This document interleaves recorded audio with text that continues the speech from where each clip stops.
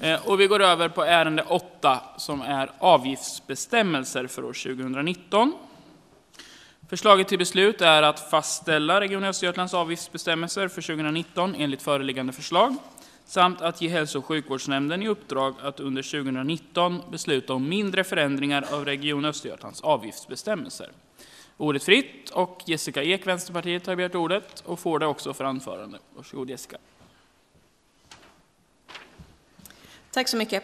Eh, från Vänsterpartiets sida så har vi inget alternativt yrkande. Vi tycker inte att det är så himla bra det sätt som man har valt att lägga upp avgifterna i Region Östergötland. Vi tycker att det finns en tydlig poäng med att styra vart patienterna tar vägen med hur avgifterna är upplagda.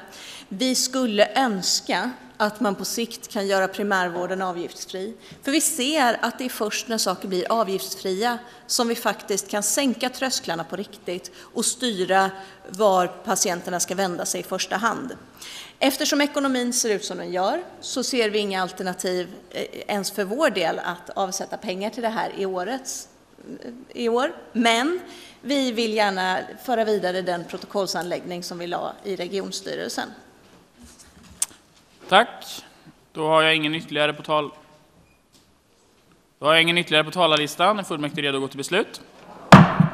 Då föreligger det bara regionstyrelsens förslag till beslut samt en protokollsanteckning från Vänsterpartiet. Beslutar då fullmäktige i enlighet med regionstyrelsens förslag? Kan vi också ta den protokollsanteckningen som finns från Vänsterpartiet i protokollet? Svar ja.